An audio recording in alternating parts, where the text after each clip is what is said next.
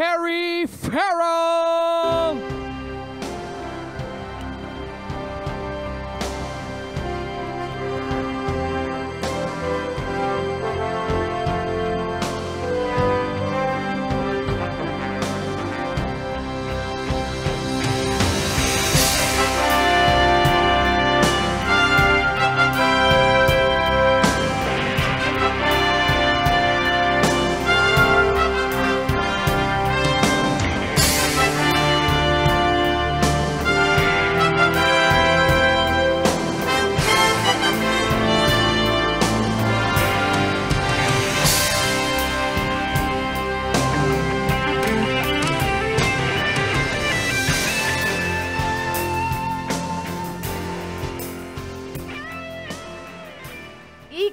Deutschland.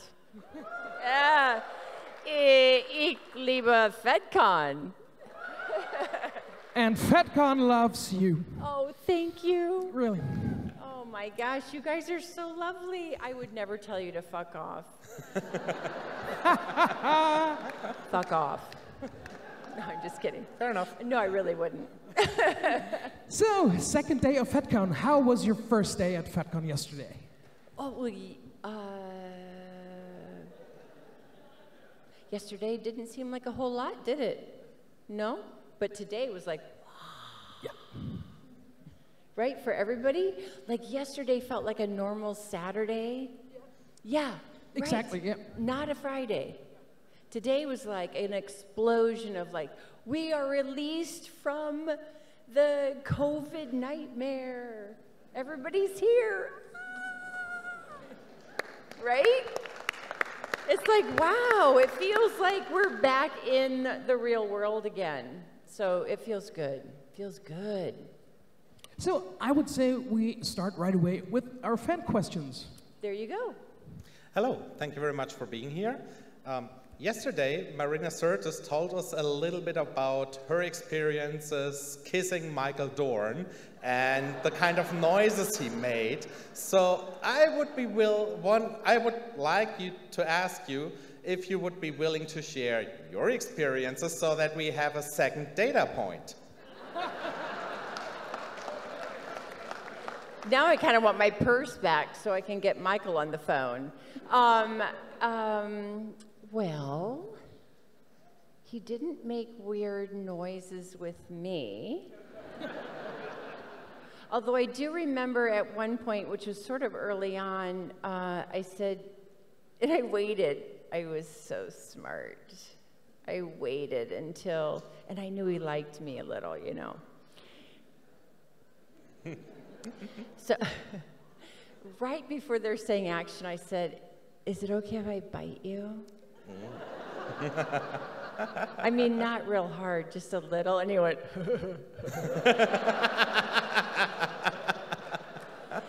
it was so weird because there he has all that makeup on, and, and because he, we're gonna kiss, he doesn't have those uh, teeth in. So it's like, it's super incongruent. Like, there's this wild Klingon look, and then these perfect teeth. Like, you're not really a Klingon.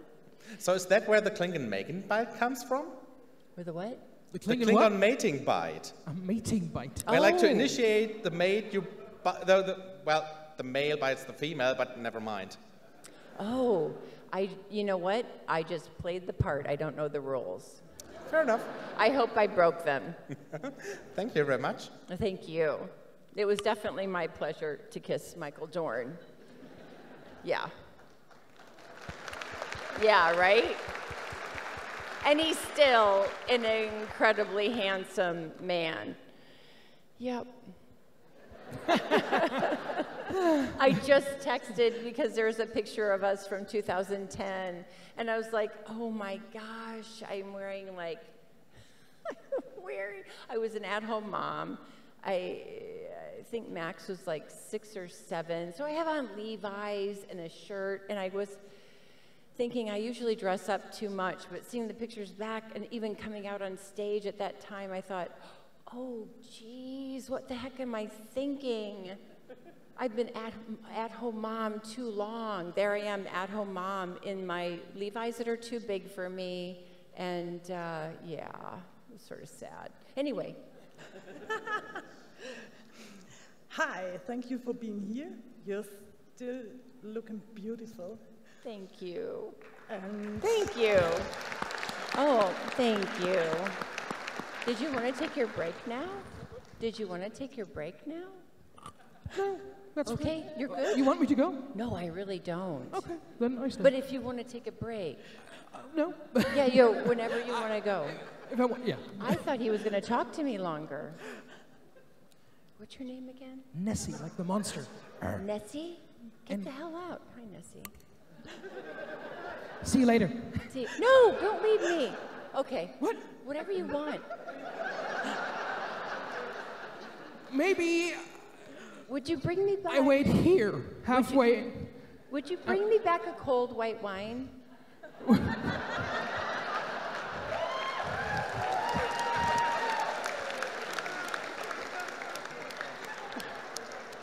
Just kidding. Uh, no, whatever you want. Seriously. Honestly, it's just too much fun. I'm so sorry. What, what did you want to say? It's not our show, it's their show. I come back in five minutes. Come back. Nessie. Nessie. Yes, I'm so sorry. it's okay. Not really. So I, I hope um, I can ask a private question. Um, You hope it's not private? I hope not too private. so you married a very famous name, I did. and um, I And so did he. You know, so yeah. So Thank you. Thank you. Yes, I'm sorry, I couldn't resist. Go ahead, yes. Now you have to live with the footprints of Leonard Nimoy too. And after the documentation for the love of Spock, I think it's like a bomb all over the world. So does it affect Yeah. you and how Yes. it for Adam now after the documentation? Uh, documentation, do you mean the marriage? Um, no, for the love of Spock. Uh, so Adam, Adam became more famous, and everybody knows the face um, after Big Bang Theory. Yes. So he's in the spotlight too, Yeah. and you have to live with all these footprints too. Yeah. How, how is it for you? And how is it for Adam after the revelation? revelation? you would have to ask Adam how Adam feels. I would rather not talk about my marriage to him with you. I made the comment when I came out because a lot of people don't know. So I will get people coming up for an autograph, and it's very difficult to have people come up to me and talk to me about things that are highly personal that I don't even talk to all of my friends about. So, um, you know, it's unfortunate. It's unfortunate. We both wanted it to work very much, and it's really unfortunate. Uh, and um, footprints, to be honest, I feel like I had Leonard's footprints before I knew of anything other than being six years old, sitting in front of the original series, being crazy about McCoy, crazy about Spock, crazy about Captain, what's his name? And uh, yeah, they were like my childhood of play. That's why Trials and Tribble-ations was such a big deal for me. Um, and, and Leonard coming on uh, Becker was a great big deal for me. I got to work with someone who was one of my heroes that had nothing to do with the other relationship. And um, so I will always have those footprints on my heart, in my life. It doesn't go away. I think that just like almost anything in life, it transforms So even in relationships, when you meet someone, it's very, there's a lot of hormones happening that, you know, you keep your rose colored glasses on maybe a little too long. And both of us wanted to work very much. And I think it's easy to be in a little bit of denial. And um, so painful.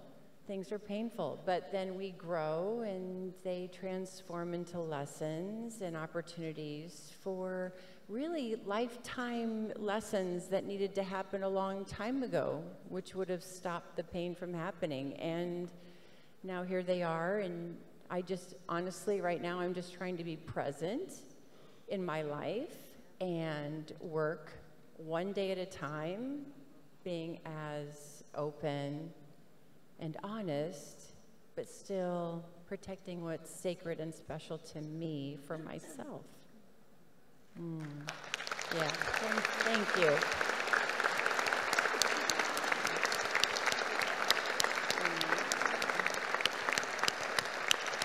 Mm. Thank you. So I have another question, or Can it be lighter? Um, I have another question. I'm sorry. Uh, shocking was the early death of Aron Eisenberg, Yes. and um, he was so young. And I hope you can tell us a funny story about him and how he was. Uh, uh, Aaron, um, Aron and I hit heads early on. Aron was trying to be funny, and it came off passive aggressive most of the time with me.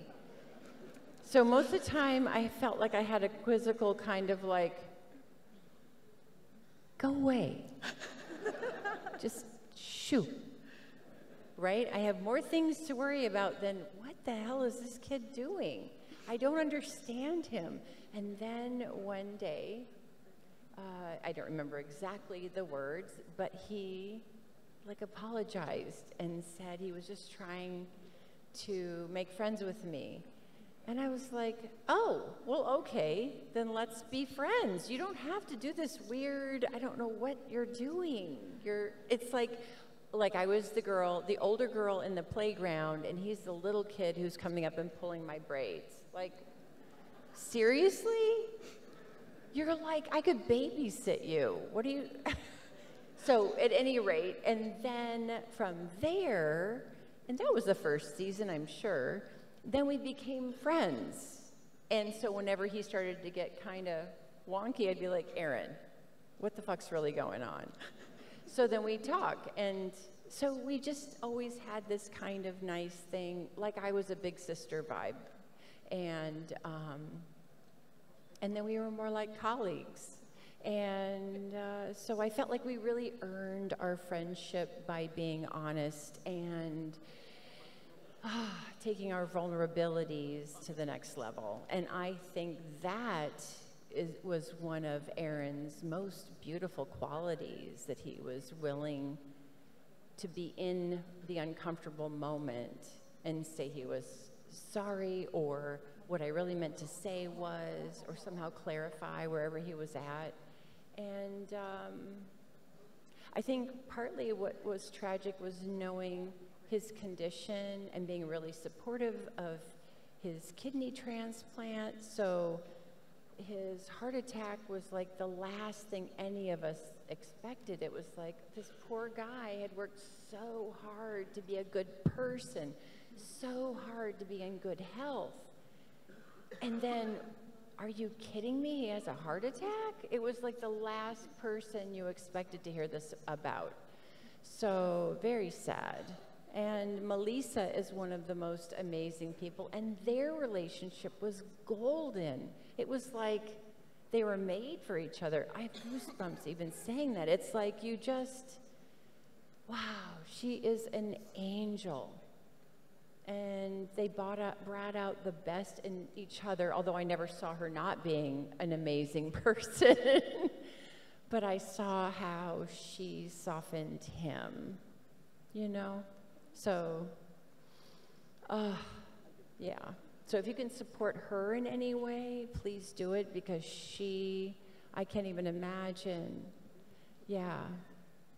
I can imagine the hoping and wishing, but I, it, it wasn't the same. They, they, are, they were really soulmates, really. Gorgeous couple. Okay. Thank yeah. you. Mhm. Yeah. Thank you. Hi, Terry. Um, I was going to ask a completely different question, but I think I'll try and lighten it a bit for you. Oh, thank you. I, does everybody want lighter or would you like more deep? With the recent change within the media um, towards more LGBT um, reflections and representation, how does it feel to be pretty much a pioneer in that regard with Deep Space Nine? Oh, I am and the kiss? Having the oh well the kiss whatever the the kiss At that the time, that was huge. and the what? The time, the, ki- the same-sex kiss you had on screen Oh yes, and should it have been? No, no. no, because that was about love. It was a love story. Um, for me, uh, when I auditioned, I was told this was going to be the dark Star Trek. This was going to be the Star Wars of Star Trek. So I, my love of the original, I thought, oh, we're going to be like on the cover of Newsweek. We're going to shock people with groovy stories that people go like, oh, they did not tell that story. Hmm They did on television out loud and made us look at ourselves and what we're not doing right. And that episode of Rejoined was Steve Oster handed me the script and said, We're going to give you the option. If you're not okay with this, we will not go ahead with this. I read it that night. I could tell by the way he was handing it to me that it was super important. And so it was really hard for me to calm down and read every word, yeah. Uh, and I, my recollection is I called him that night and said, I love it. This is great. I, can I be a part of casting? How involved can I be? Because for me, I started modeling in, in uh, summer of 1981 in New York, and that was the era of AIDS beginning. I lost a lot of gorgeous human beings that made me feel safe, uh, like a little sister, uh, just totally loved for, from that disease. And so it felt like I was able to represent uh, a little slice of right love is love. It's just love. That's all it is. Does it matter what your package looks like? You know?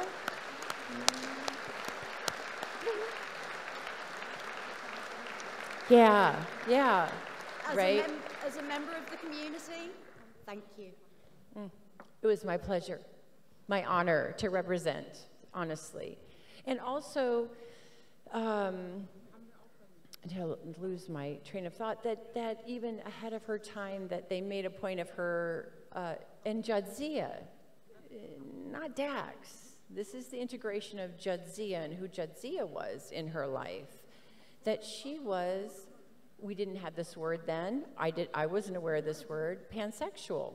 And I thought, but I remember thinking, well, here's the thing. She's just way evolved, right? Because she's 300 with the worm, 350 years old. This is how Jadzia is interpreting being a man and a woman and all of this. And this integration means that she really does have no judgment. It's more like you're a being, I'm a being, I see something in you, I see it too. What do you want to do? Let's go play. Right? It was like, I, Terry Farrell, can't do that, but I love that she can. I'm just a mere human being with my own shizzle going on. But I love that I've got to represent that. And no, I had no idea at, that this would happen in the world. Did any of us? Would it's just it's so. Yeah, it's it's pretty deep. It's uh, an honor, and um, yeah, I'm just amazed, amazed that I'm standing here, and it was something I did such a very long time ago. I'm so pleased. I couldn't be more proud. and I'm grateful for the writers, right, to create and write these characters, and especially mine. Especially mine. Thank you. Thank you.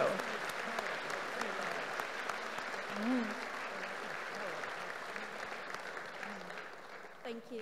Thank you. So it was still deep, but it was it was like uh, inspiring. oh, Hello, not up you? here. Oh, hello. Hi. Hi. Hi. Um, I was wondering about how you think Jadzia was before she was joined, what kind of person she was, because I think the joining with Dax was radical change for her. Yeah, I think so too. I think what was great in the in the beginning was because they didn't know how to describe what they wanted from me exactly, and because I didn't have enough really experience as an actress to feel confident to just bring it. I mean, I was a 28 year old woman, and uh, that was my experience. Um, that we started slowly, and so I would have guessed uh, as the writers were figuring out what they wanted Dax to look like, in that I wasn't completely delivering the stoicism that was asked of me because I thought, well, if I'm 350 years old, now wouldn't that part of the wisdom feel joy and find beings, human, humanoid, amusing? Why else would you want to keep coming back if you didn't enjoy watching the dynamics of how everyone like wow it's like as an adult now it'd be so much cooler to play her now because now of course i've had a son and all of this and you can reflect back on i can reflect back on being 28 and going wow i really had no fucking idea. There's so many things you work so hard at that if you just let go of are all going to happen anyway and you're just going to feel so much better about yourself.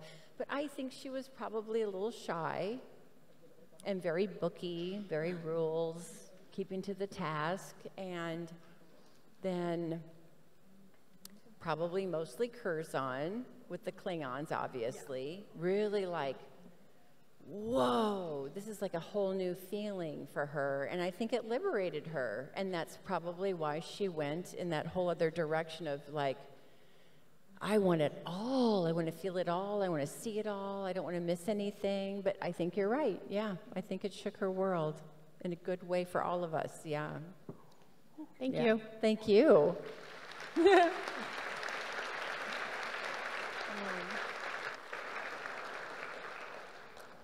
Hello, Yes. Terry. Um, a general question. Um, do the actors of Star Trek get paid for all the merchandise and action figures and or how is it?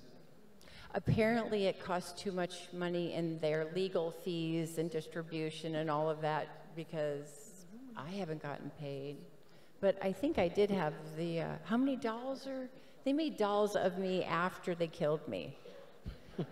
Probably because they don't sell, right? That's why. They don't make any money from it.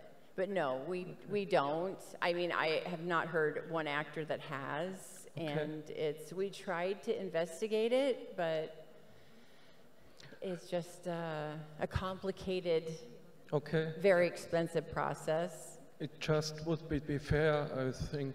Um, yes. Yeah, Do we you, think uh, so too. But you know, we have this gift that keeps giving, and here I am talking to you right now. So I'll stay with what's positive because, as you know, I've had quite a lot happen with me, like my death, and. And, uh, you know, I have you. I have the world turning towards LBGTQ plus community.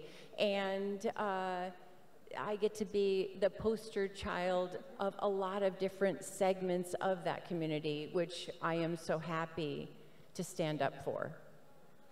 Okay. Right? So that's a huge gift. Yeah. Thank you.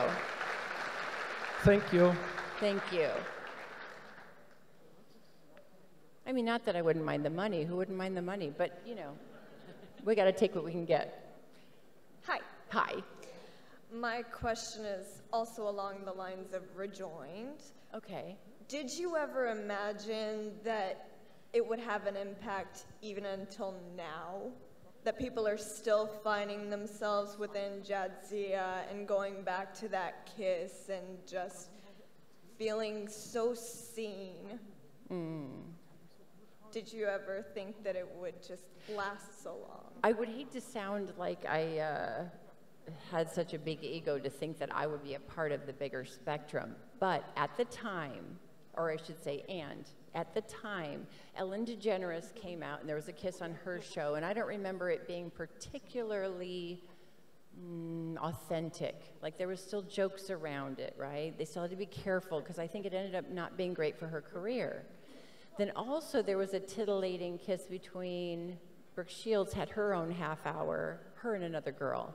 But what gave this gravitas was it made sense for my character to fall back in love with a being that was in my widowed wife's body.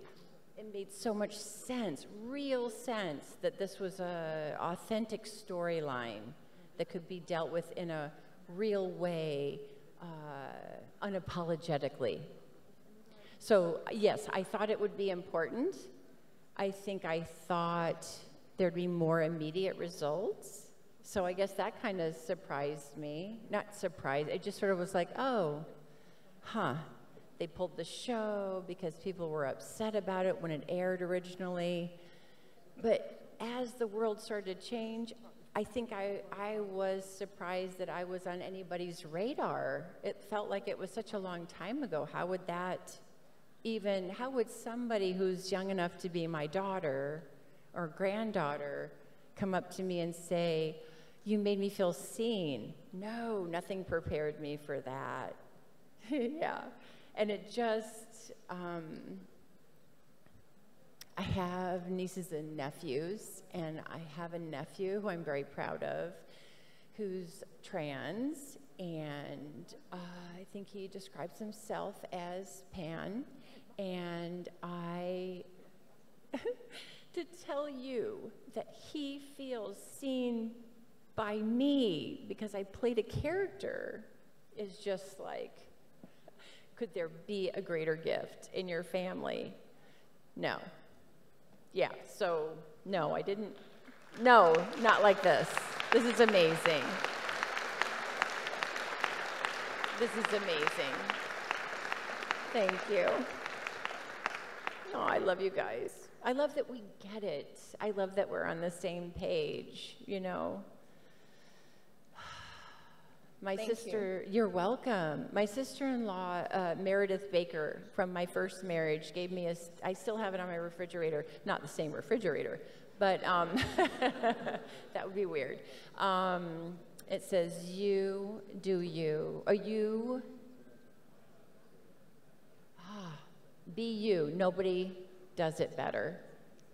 And it's so true, right? Because you do you sounds a little too casual. I said this to somebody in line, I wrote it on their thing today. But it is too casual because you, when you're talking about trans or LGBTQ, whatever that looks like for you, or even just being a person of, uh, we call it trauma, wounds, right? It, it doesn't matter if it's a big T trauma or small t trauma. Anybody who has to fight to be who they are, who they want to be, rather than who has, whoever has compressed them, that being that you've been compressed into being to make everyone happy to survive as a child. Anybody who's fighting that, to be yourself is one of the hardest things we do as human beings, and yet it's the only thing we need to fight for, right? With courage and celebrate each other for doing it. Because until we acknowledge the real person that we were born to be, we're always going to be trying too hard to do crazy things. You don't ever going to feel, you're not going to feel centered and grounded and loved by yourself until you find that. That's the truth.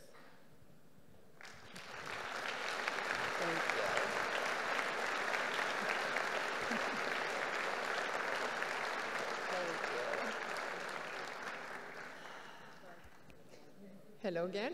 Hello again. Um, I have a slightly lighter question, I guess. the spots took 45 minutes. I'm sorry. I thought you'd laugh really. Okay, go ahead. um, so Jadzia wasn't the first ever Trill on, on Star Trek. But let's be honest, in TNG, the Trill were kind of all over the place. So I do remember Andy saying how he got to do a lot of input for how the Cardassian species was. So, do you remember anything that you decided this is was what Trill are? Did you get any input? Like, did you get to give any input? No. That is very sad. No. I uh, think that I didn't get to give the input. Uh, but they did hire me an acting coach, and she said, You don't need an acting coach, you need someone to run lines with you because it's inhuman what they're asking you to memorize with the sci fi, with the uh, technobabble. But she was Halle Berry's uh, acting coach, so I was like, So let me just work this in, why not, right? So she said, They're telling me they don't like it that you're they, they don't like your sense of humor. What's wrong with them? And she said, just keep it in. because that's the part that works. That works. You're turning a phrase, you're saying it in a way that makes it funny, but it's not written to be funny, but that's just you, Terry, bringing what you think is Dax to Dax. So that's what I um, little things that were physical that had nothing to do, they had to do with uh, necessities rather than a choice, although I think they worked out perfect. Um, my spots were painted with watercolors by Michael Westmore. And um, I couldn't move my neck because if I moved my neck, then they got, they bled with the sweat, right? So they would get all blurry. So they would have little pieces of tissue, and they got me a fan on stage. And it went on for a few years until they developed this special paint. But it made it so I had my neck pretty stiff, which is kind of military anyway, right? Then there was another scene in the first season where, and I felt really insecure. I was the last person hired.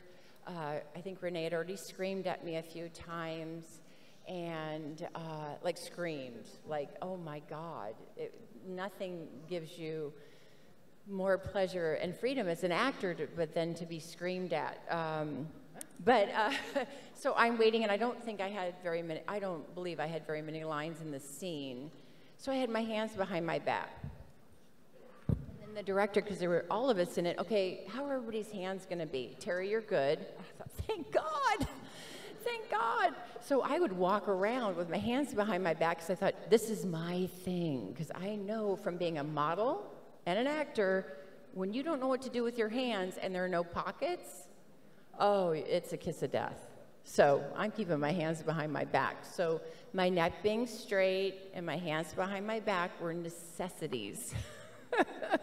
but they really uh, informed the character, so I got lucky. Yeah. Thank you. Thank you.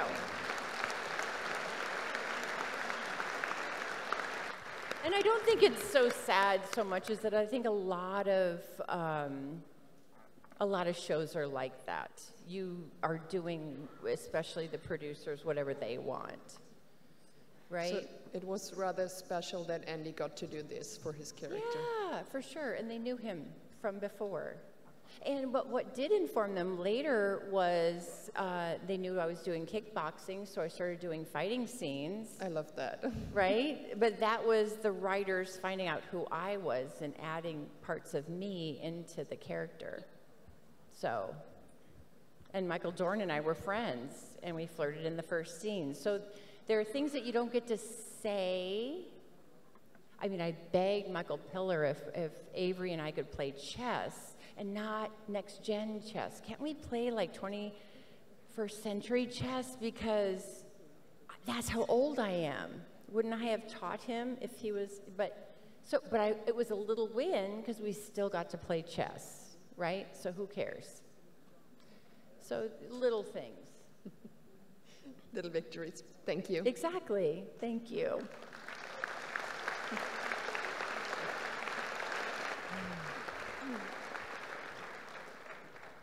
Terry. Hello. Um, the first time I saw you in, on TV was in Paper Dolls. Oh, wow. Yeah. and um, I loved you from the start.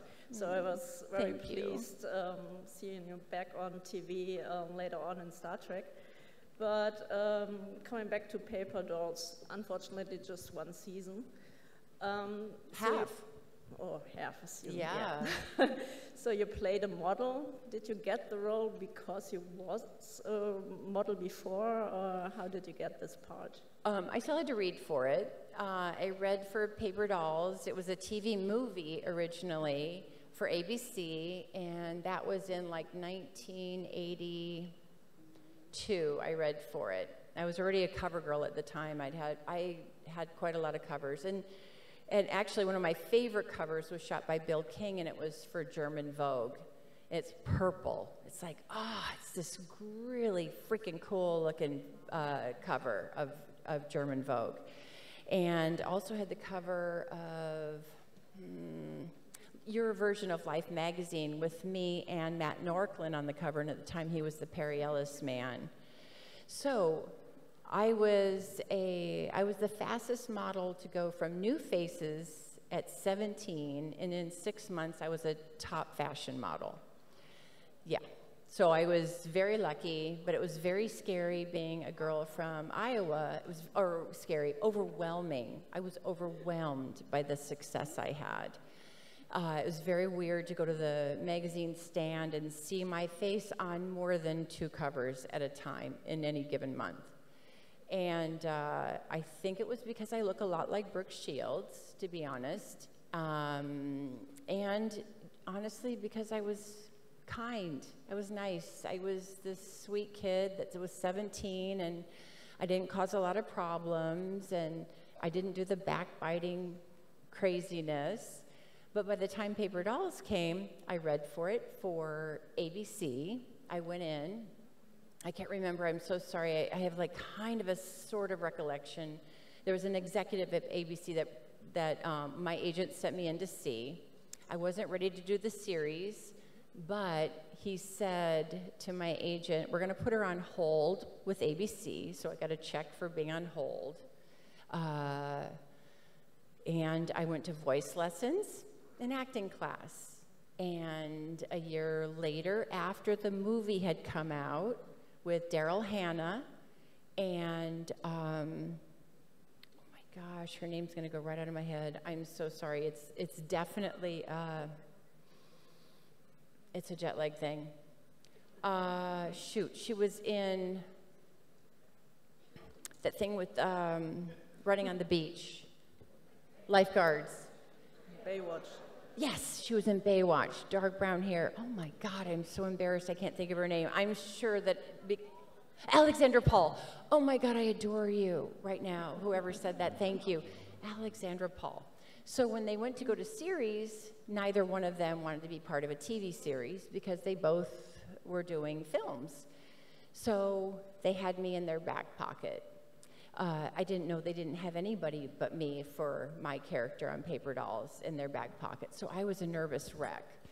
and uh, it was me and Nicolette Sheridan. But Nicolette read against somebody, I don't know who it was. They flew me from New York to LA to read for it. My neck was super stiff and I was really nervous. And they were like, Terry, you can relax. Nobody else is reading for your character. Then I thought, oh my God, but then if I fuck it up now, and there's nobody, I'm letting them down. You see, I am damaged. So, but I got it, right? And, and that happened during the 1984 Olympics. All of those ads came out, and uh, it, was a, it was crazy. Talk about imposter syndrome. Suddenly I couldn't go anywhere because I was on television, but people didn't understand. They already knew my face for watching me for three years doing being in magazines and being on TV uh, commercials. So, wow. So after that, I kind of went, oh my God, well, I did back to school and a couple other things, but then, yeah, I don't, what am I doing? I'm like, I don't need to do my autobiography right now. Or my biography. Thank you. you. know what I mean? You- yeah, you're welcome. I don't even know if I answered your question.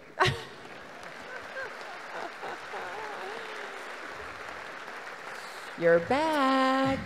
I'm so sorry to say that, but the next question will also be the last question for today.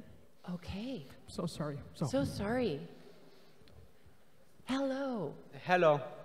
Uh, why did uh, Jadzia Dax die in DS9? Golly. Uh, wow, that's a long answer. Okay, let's do the short version. Short version, because a lot of people already know this. Our contracts ended, six year contracts, uh, and the short story, short version, we were given take it or leave it offers. So, short version, without all the fun drama, uh, I said, Well, then, thank you very much, but no thank you.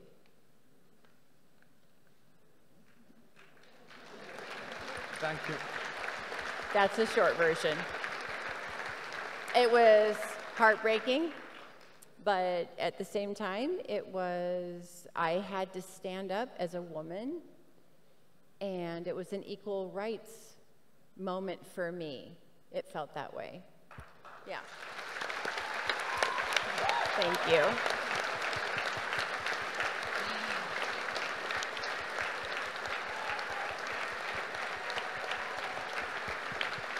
Thank you.